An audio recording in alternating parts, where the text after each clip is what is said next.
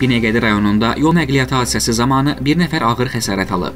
Oxas xəbər verir ki, hadisə Cəfər Xəndan küçəsində baş verib. 1977-ci il təvəllüdlü Vəzirov Aşif Həsənağoğlu yolu keçmək istəyərkən 99 FF 892 dövlət nömrə nişanlı Kia Optima markalı mini avtomobili onu vurub. Yaralı təcili olaraq xəstəxanaya yerləşdirilib. Vəziyyəti ağır qiymətləndirilir. Faktla bağlı Binəqədi rayon polis idarəsində araşdırma aparılır.